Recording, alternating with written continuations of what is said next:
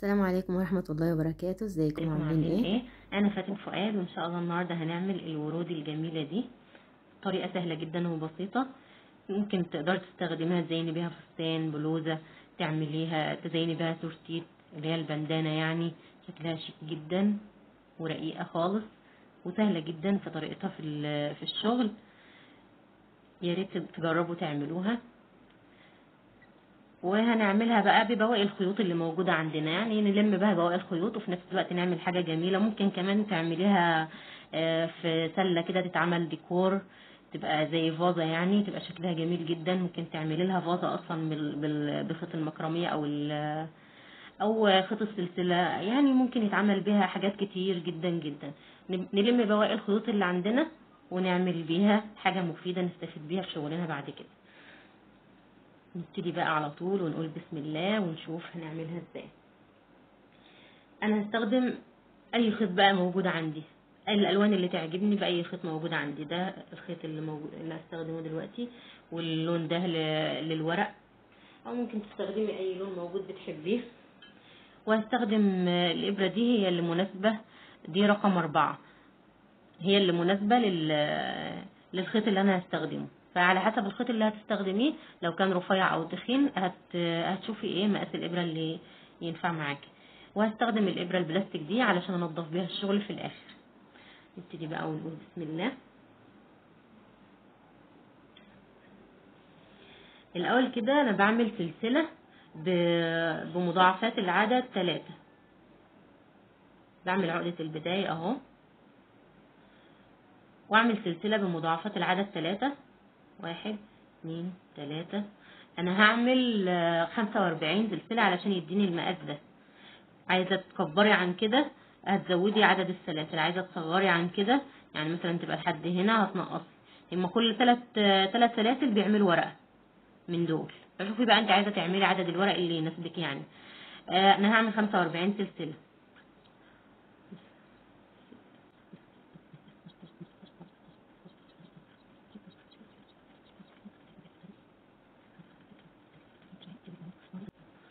وبعدين خمسة وأربعين. كده عملت خمسة وأربعين سلسلة. بعد ست سلاسل واحد اتنين تلاتة أربعة خمسة ستة. السادسة دي بعمل عمود باخد عمود بلفة كده وادخل فيها. هنا. واعمل عمود بلفة في رقم إيه؟ رقم ستة. كده.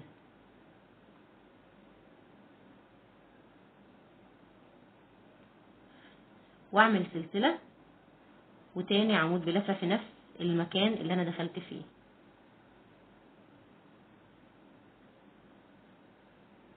بالشكل ده. وسلسلة وعد ثلاث سلاسل من تحت واحد اتنين تلاتة التالتة هعمل برضو عمود بلفة وأدخل فيه.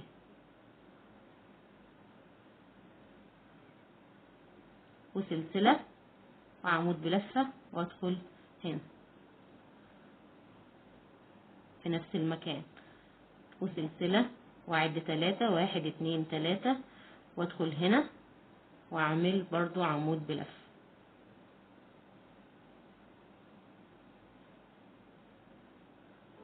سلسلة. وعمود بلف. هكمل كده لحد آخر السلسلة وأرجع لكم تاني. كده أنا خلاص خلصت السطر أهو. وصلت للآخر آخر غرزة بس اللي باقية هعملها معاكم. هعمل برضو عمود بلفة كده في آخر غرزة موجودة معايا. سلسلة عمود بلفة في نفس المكان. وبس كده هقفل السطر وارتفع ثلاثة سلسلة والف الشغل بتاعي واعمل عمود بلفة في المكان اللي هو بين العمودين ده بين العمودين اللي في الآخر دول. أعمل عمود بلفة الارتفاع ده أنا حاسباه عمود تمام؟ يعني أنا كده كأني عملت عمودين. بعمل بقى سلسلة وأعمل تاني في نفس المكان بين العمودين دول اتنين عمود بلفة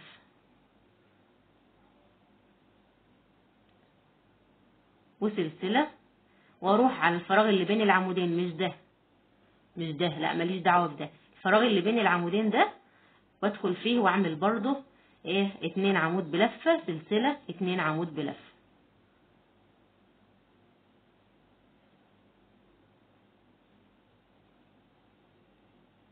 بالشكل ده كده. وسلسلة تاني وأنقل برضو على بين العمودين اللي وراهم اللي هو حرف الفي ده. هعمل برضو اتنين عمود بلفة. سلسلة اتنين عمود بلفة تاني. وكمان سلسلة. وهكمل كل ال- ال- المساحة دي كلها بنفس الطريقة. في حرف الفي في قلبه كده أعمل اتنين عمود بلفة سلسلة اتنين عمود بلفة وبعدين سلسلة. وأخش على حرف الفي اللي بعده. وهكذا لحد ما أخلص المساحة دي كلها وأرجع لكم تاني إن شاء الله. كده أنا خلاص خلصت السطر أهو. عملت كله بنفس الطريقة. ودلوقتي وصلت لآخر آخر عمود أهو.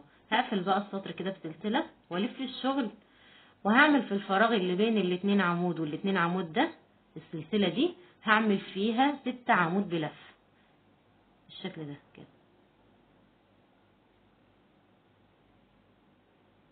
واحد اتنين تلاتة أربعة خمسة ست هاجي بقى في المسافة اللي بين ال- العواميد دي اللي هي هنا دي. مش اللي بين العمودين دول لأ اللي بين المجموعة دي والمجموعة دي. المسافة دي وهعمل هنزل فيها كده في الفراغ ده وأعمل منزلقة بس كده. وهاجي بقى على الفراغ اللي بين العمودين بعد كده وأعمل ستة برضو عمود بلف.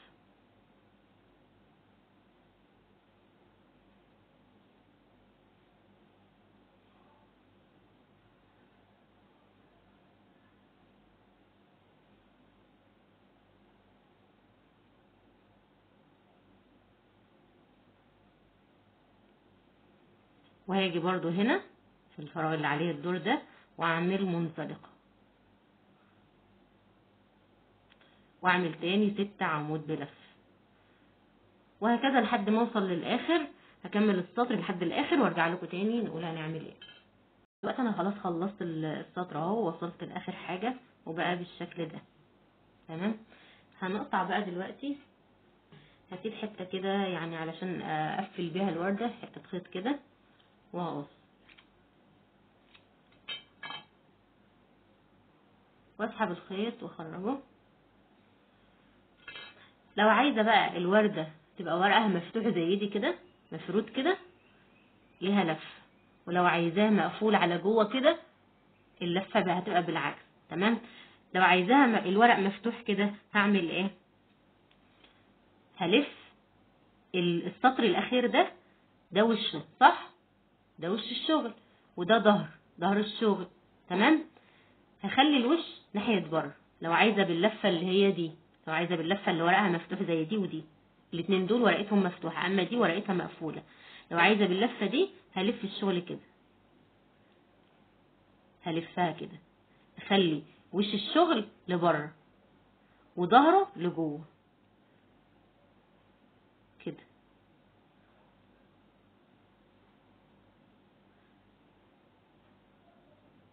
بالشكل ده. ده لو عايزاها إيه؟ ورق مفتوح. طيب لو عايزاها ورق مقفول هعكس. هلف الشغل كده. ظهر الشغل يبقى لبره ووشه يبقى لجوه السطر الأخير يعني. تمام؟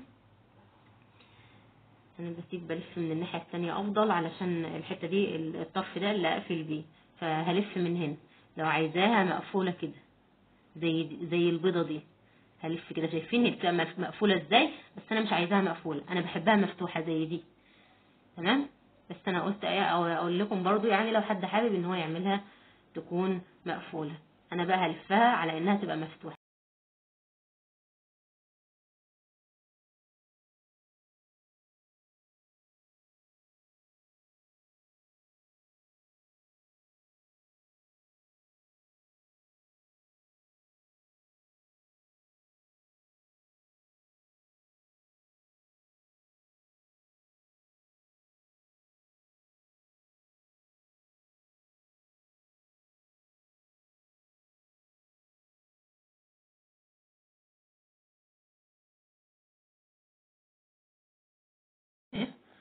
المفروض بقى هعمل الكاس اللي بيبقى هنا الأخضر ده. زي ده كده. نبتدي نعمله سوا.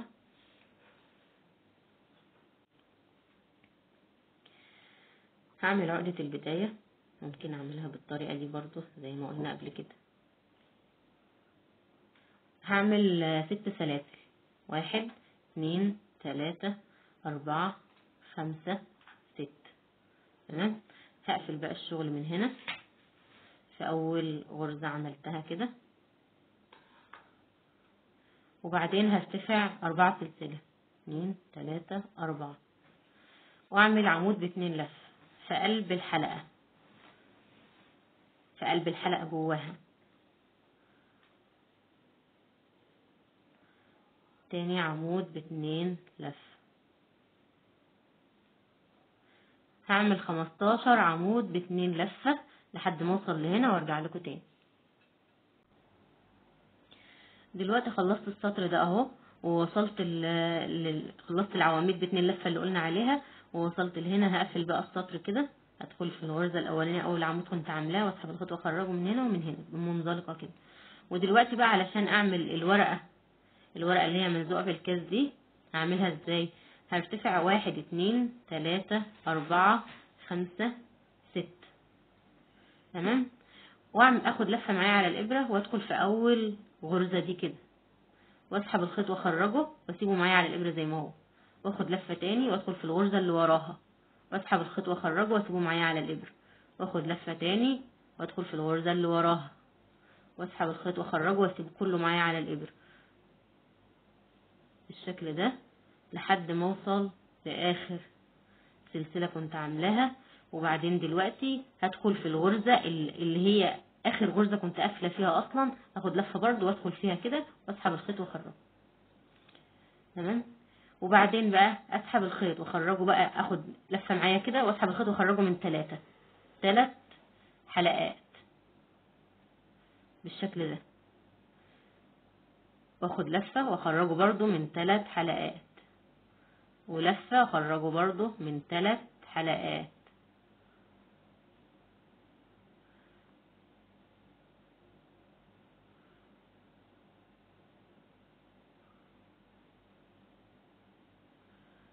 بس كده أعمل غرزة سلسلة وألف الشغل وأعمل تاني نفس الخطوات في ال- في قبال ال- الغرز اللي كنا عملناها.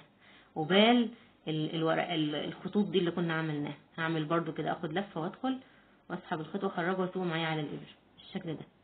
قبالها في نفس الأماكن اللي كنت عاملة فيها قبل كده.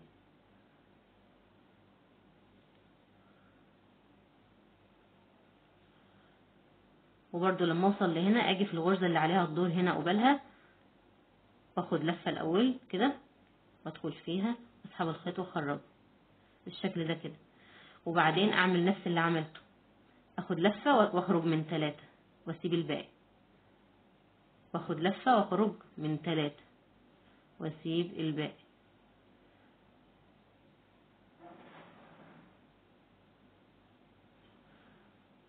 بس كده. وهعمل غرزة سلسلة وألف الشغل. وأجي في الغرزة الأخيرة دي. أعمل كمان غرزة حشو. وبس.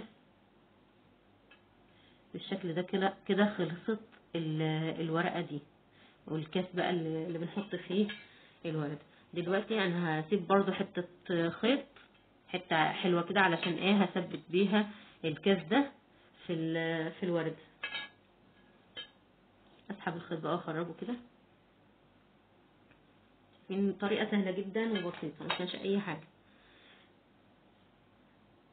نقطع دي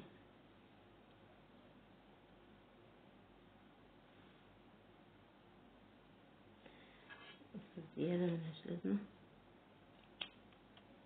هي كده كده الم- المكان ده هيبقى جوه في الوردة فمش هيبان يعني مش هيفرق معاه. دلوقتي بقى هلضم الخيط في إبرة التنظيف. وهعمل إيه بقى؟ هثبته كده.